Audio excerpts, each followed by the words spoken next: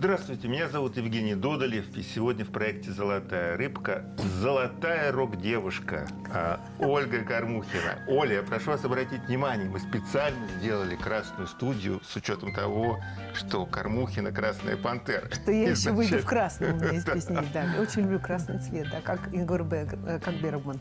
Да. А у нас э, в первом выпуске нашей программы был э, Андрей Владимирович Макаревич. И я всем задаю дежурный вопрос, э, как отразился ковид на, на, на творчестве. Он, он сказал, что «Машина времени» записала альбом благодаря карантину. А что сделала Кормухина? Ну, во-первых, если что касается творчества, то мы с Алексеем Беловым, с мужем, да. Заканчивали концерт, то есть мы сводили звук а, моего юбилейного концерта в Крокусе и, э, собственно, болели вот этой самой заразой. Синхрон. Короной, да, всей семьей. Угу. Причем очень жестко. Прям жестко-жестко. Это летом было? Да. Угу. Да, это был конец мая-июнь. Красный дню рождения такой подарок был. Вот. Ну, это правда подарок, потому что очень многие вещи переосмысливаешь, когда вот такая опасность над тобой нависает, летальная, то там действительно это страшная штука. Вот. И э, я много что как бы поняла. И про болезни, самое главное, про себя. Потому что когда все серьезно, ты начинаешь э, как бы копаться в себе и собственно, как сказать, проводить ревизию внутреннюю. Так. Да, потому что вот, если, не дай бог, что, то с чем же я к нему приду. Угу. Вот. И я так хорошо покопалась. Я даже благодарна этой ситуации. Алексей, я думаю, тоже. Слава богу, удалось спасти маму. Я, тоже, как, тоже, я как фронтовая болела, да? сестра, очень жестко. Ее пришлось потом в склифе долечивать. Ей очень сильно ударил по ЖКТ. Вот, но... А в какой последовательности? Вы же не, не синхронно все заболели? Все разом. Все разом? Ну, с, с разницей, может быть, мы с Лешей как-то одновременно, потом на следующий день мама, еще через день дочь. То есть кто, кто-то дольше держался, кто-то быстрее. Кстати, про дочь у Анатолия Алексеевны тоже в этом году там, круглая дата. Она просит ее не упоминать даже публично. Да. Она сказала, я не хочу ваш шоу-бизнес, пожалуйста, пожалуйста, оставьте меня. Я, просто... я не хочу быть публичным. Всего, всего, она, она идет... всего, всего один только вопрос. Она, она смеется только, когда эм, как бы выдают чужие фотографии за ее в интернете. Ага. И, по-моему, один э, журналист так радовался. Вот, я все-таки ее застукал. Я ее снял. И он снял ее. Вот удивительно, он снял девушку тоже по имени Анатолий. Она оказалась э, ее подругой, но не у Анатолий. Есть, у Анатолия да, есть подруга и не одна, Анатолия. И не одна. Я думаю, это очень редкое имя. Очень редкое. Крис Кельми, покойный, к сожалению, соратник ваш, говорил мне, что вы стесняетесь признаться, что это не в честь Анатолия Кроля названо, а в честь него, в честь Анатолия Кельми она была названа. Нет. И не то, и не другое. Мы вообще не ожидали. И, миф, миф, что в честь Анатолия Кроля названо, это тоже выдумки? Мы вообще, э, честно говоря, это не наш выбор был. Нам, есть... это имя, нам это имя духовник благословил. Мы даже не знали, что имя такое есть женское. Я, кстати, тоже Я не благодаря знал, да. этому узнала, что, оказывается, это была э, святая мученица Анатолия Римская. Это была родная сестра э, Фатины Самарянки, с которой Господь беседовал у колодца. Угу. Такая э, это, это женщина, которая сподобилась упоминанием в Евангелии. Вот это ее старшая сестра Анатолия. Угу. Очень интересно, я да. не знал. Их было пять сестер. Они э, содержались под арестом в доме Нерона. Э, благодаря им э, приняли крещение 100 наложниц, включая Дамнину, это э, дочь Нерона. Угу. И все они пострадали, всех их э, казнили, включая и э, Нероновскую дочь. Вот. Когда произошло вот это погружение в э, христианскую тематику, в православие, с каких Женечка, ну это вот это не это, наверное, не а, тематика и не погружение. Дело в том, что я же с детства крещенный человек. Э, Ну я росла, я росла в культуре в этой. Это Моя вот. бабушка была очень верующей, но она никогда никому не навязывала. Бабушка, я уточнил, по отцовской По отцовской линии, да. Мгм. И причем а, дед, то есть ее муж, он был коммунистом, причем таким упертым коммунистом, очень, кстати, вот кристально чистый. Он был, вот если говорить о идеале коммуниста, вот это мой дед был. И он всегда говорил, так, хоть одну картошку вынести, но коммунист, коммунизм мы построим. То есть вот он за идею был. И он ей сказал, если кого-нибудь покрестишь, назову сына Ревой, а дочь Люцией. Вот. Но она втихаря все да. равно всех покрестила. Да, ну, не все поймут, что да, революция Да, да. да. Ну, революция, да. Да. И вот, и когда бабушка умерла, вдруг что-то случилось, мы так и не поняли, что с ним произошло. То ли было какое-то явление, ему, то ли... И вот вдруг он сказал у гроба бабушки, сказал, дети, верьте в Бога, Он есть. И вот удивительно, но он еще 14 лет после этого прожил, очень в 90 с лишним лет он приставился и с исповедью, с причастием. Хотя бабушка всю жизнь молилась, была верующей, но вот она умерла, к сожалению, внезапно, без, э, без напутствия святых тайн Христовых. И я маму спросила, мама, вот почему же так? Это же несправедливо. Вот бабушка всю жизнь молилась, она была а дед-то был коммунистом, но да, он там 14 лет э, жил в покаянии. Она говорит, ты знаешь, он очень многих спас в сталинские времена, во время репрессий. Он занимал высокий пост в системе внутренних дел. И через него проходили вот эти так называемые дела. Особенно Мгм. 58-я статья, Это 40-е антисоветская годы. Да, да, да, да, да, Мгм. да. Вот. И он, и он а, очень многих людей спас. Он эти дела просто уничтожал большинство, потому что там сосед на соседа писал, Мгм. вот, рискуя, собственно, жизнью. А как вообще э, увлечение рок-музыкой, э, которая считается многими сатанинской, и вообще от, от лукавого, как музыка вообще, может э, сочетаться с э, христианством? Вы знаете, я думаю, что рок-музыка гораздо больше сочетается с христианством, а, чем, любая, чем любой другой жанр. Ну, я классику не беру, я виду современные стили. Так. Дело в том, что в ней присутствует духовность. И даже если она отрицательная, то это как э, в э, Откровении Иоанна Богослова. Помните, ангел Ладикийской церкви скажи, много имею против него. Ибо он не холоден и не горяч, а только тепл. По- Был бы он, по крайней мере, холоден, то есть против. Мгм. А теплый – это равнодушный, это теплохладный. И вот Господь не любит именно равнодушных людей, теплохладных. Многие именно рокеры воцерковились. У них во всех а, есть вот эта нежность, как у Достоевского. Помните, а, когда Аглая говорит, э, идиот, у вас, говорит, есть только правда, говорит, а нежности нет, значит, несправедливо. Вот они все справедливые такие пацаны.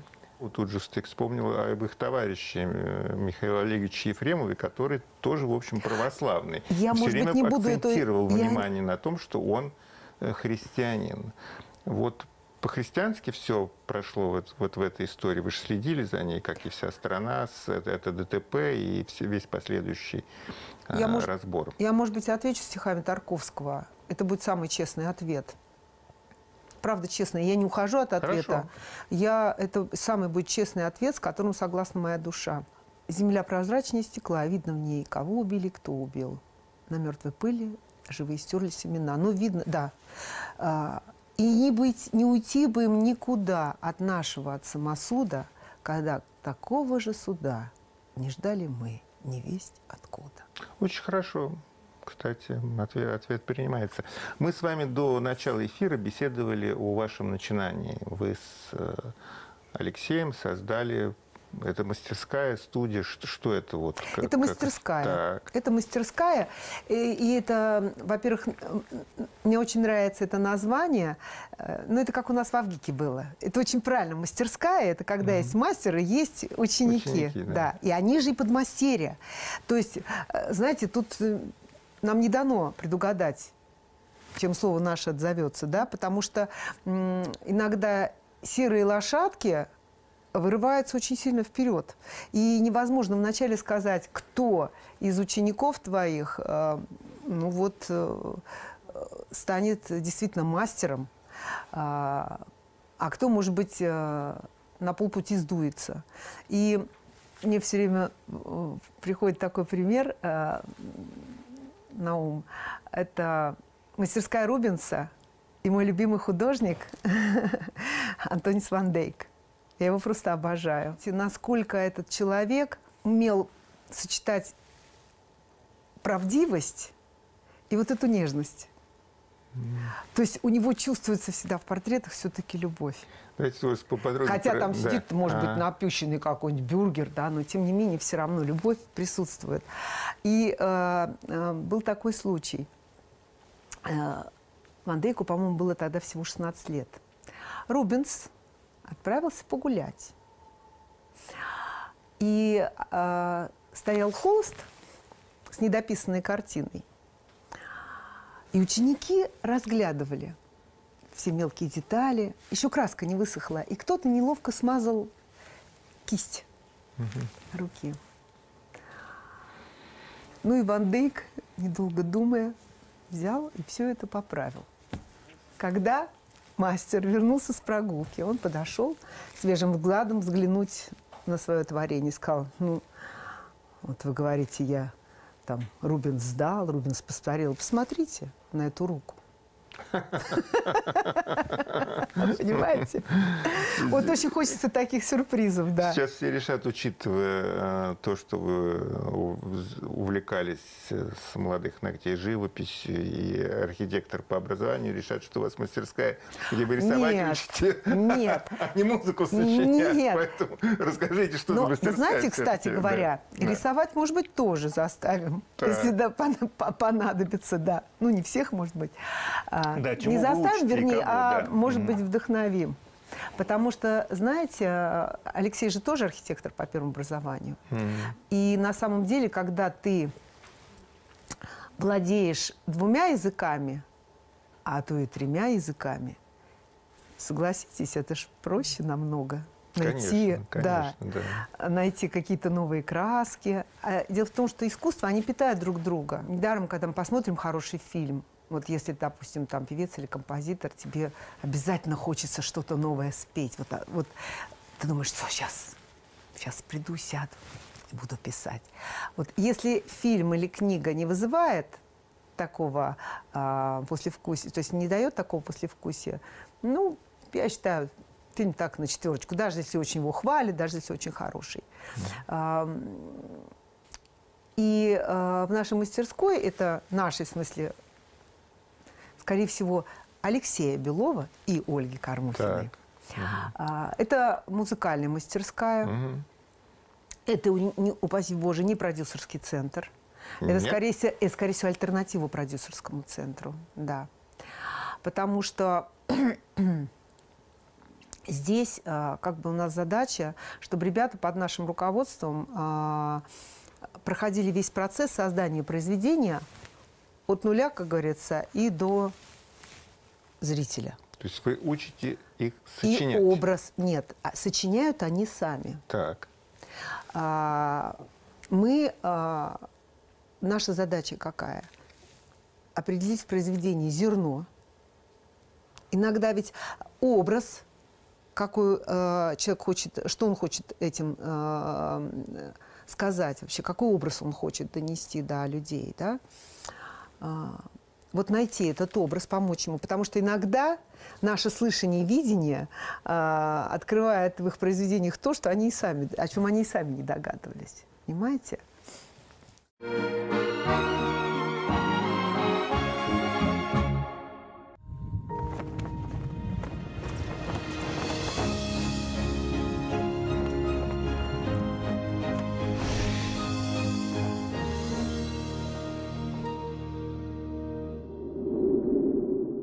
Дело в том, что действительно вот э, лицом к лицу лица не увидать, большое видится на расстоянии, а мы на расстоянии все-таки, потому что когда это твое детище, тебе очень трудно э, э, пересмотреть, э, может быть, что-то переиначить, да, то есть тебе прям вот, ну, своя рубашечка ближе к телу. Может быть, поэтому как бы э, у нас так хорошо всегда с Алексеем получается кавера, особенно в акустике. То есть совершенно...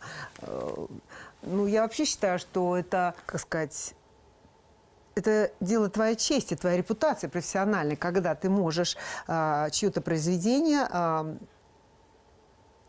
трактовать по-своему, по-новому, и так, чтобы оно зажило новой, другой, но такой же полноценной жизнью. Ну, да. То есть ты, ты э, добиваешься, грубо говоря, того, чтобы сохранилось зерно автора, но чтобы образ был другой. Может быть, более созвучный тебе. Хотя я, правда, не очень люблю кавера, поэтому я, честно говоря, в последнее время стараюсь отказываться от таких предложений.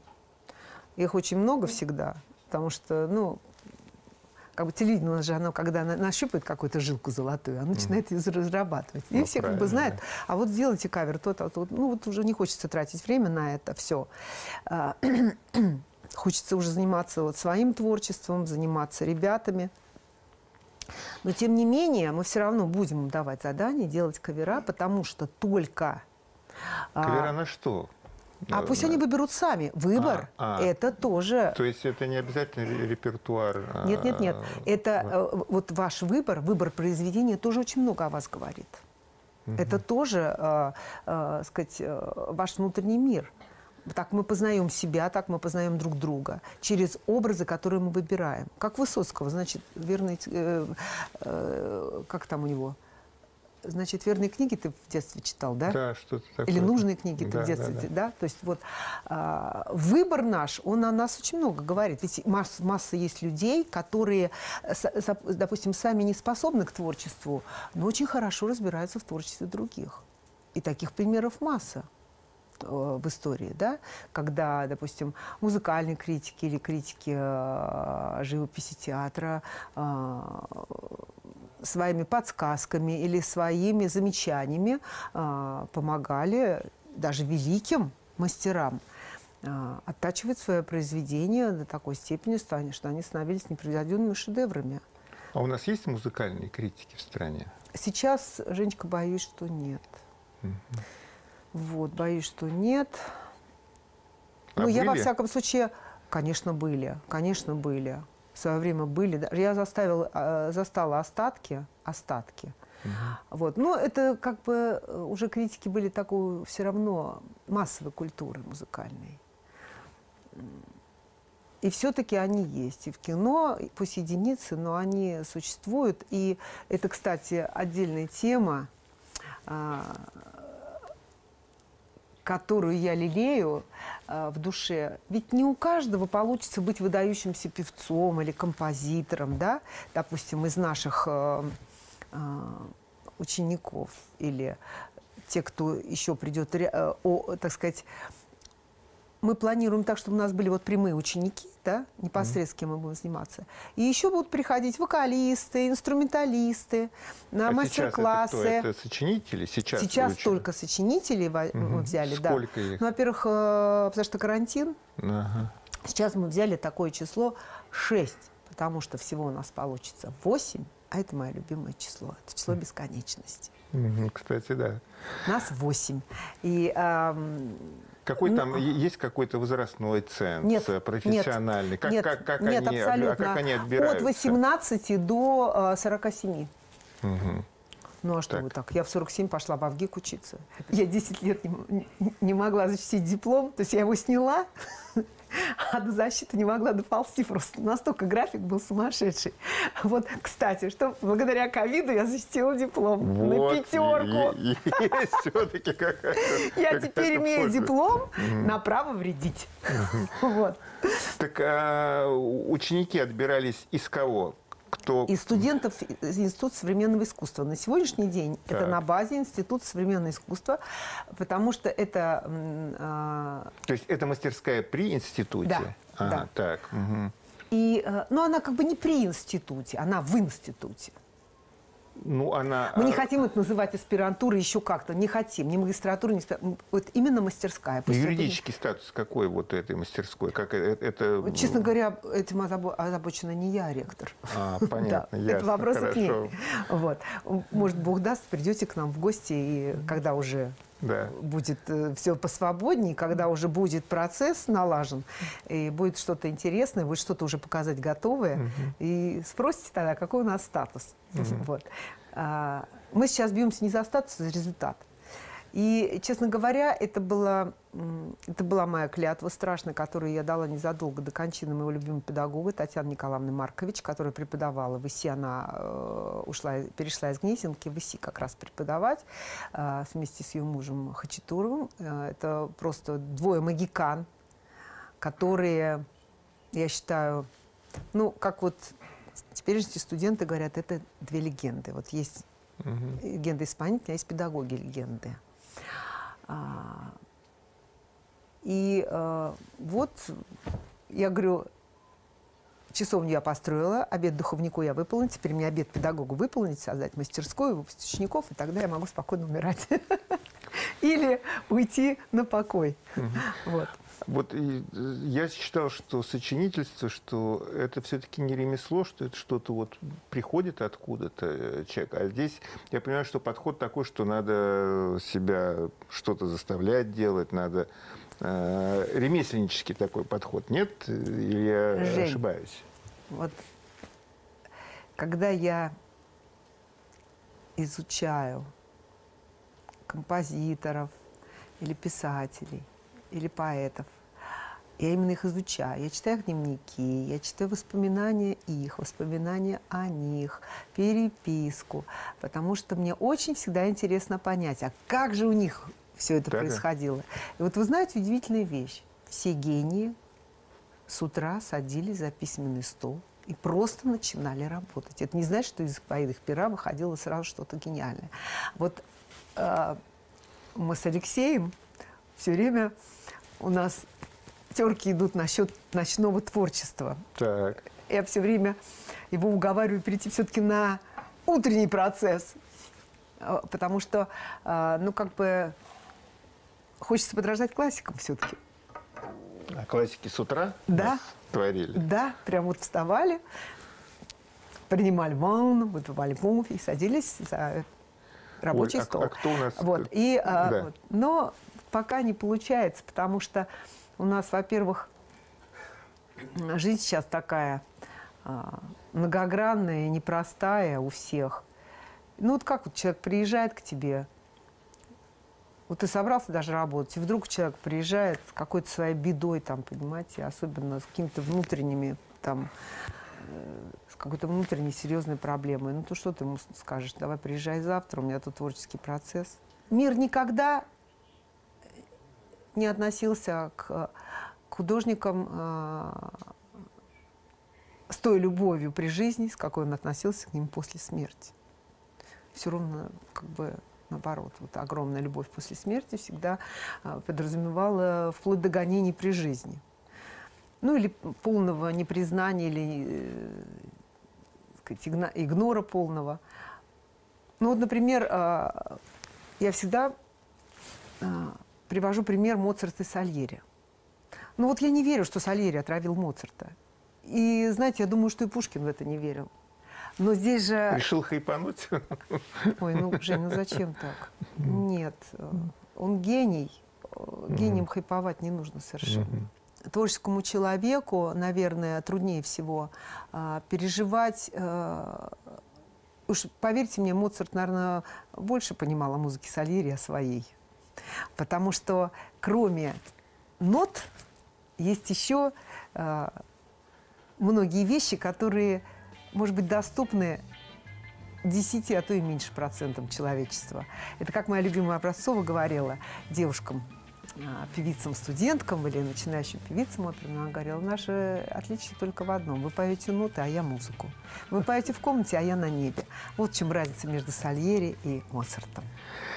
А, я недавно узнал, в чем разница между золотой рыбкой и карасем китайским. Оказывается, Никакой. никакой, да. И у нас есть золотая рыбка, которая оказалась на самом деле карасем. Его зовут дядя Володя. и Дядя Володя? А Оля- вы уверены, что он дядя Володя, а не тетя мы, Майя? мы- мы- мы проверяли. А, проверяли. Да. Оля, поэтому э, у меня Какая э, просьба прелесть. загадать дяде Володе какое-нибудь, поскольку он золотая рыбка, какое-нибудь желание. Во время следующей встречи мы посмотрим, сбылось ли оно или нет. Ну, я бы золотому дяде Володе пожелала бы э, золотую надежду. У него надежда только одна выжить до следующей нашей Я имею в виду. Надежду Константиновну. А, в этом смысле это дядя Володя. Это интересно. Первая, первая такая, рыбка первая, первая такая трактовка. Оль, большое спасибо. У меня пожелание, на самом деле, к, Спасибо про- вам, проекту. «Золотая рыбка», чтобы мы вас э, увидели еще раз, и вы бы нам рассказали. С радостью. Да, на, на каком уже этапе будет та мастерская, про которую пытался из вас Я- вытащить все детали, Я но, но не смог. надеюсь, я надеюсь, почему не смог? Потому что все не детали, смог. совершенно. нет, детали будут, когда вы придете к нам в гости, когда уже будет что показать, я же вам сказала. Все. Когда будет что, что я буду... А может, мы плохие педагоги? Время покажет. Ну, Я уверен, да. что педагоги вы такие же, как музыканты, то есть замечательные. Большое Спасибо вам большое, спасибо. Женечка, спасибо.